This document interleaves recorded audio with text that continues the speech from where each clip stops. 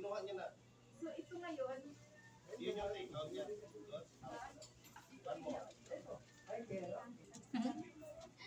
Sinungaling, kahit wala.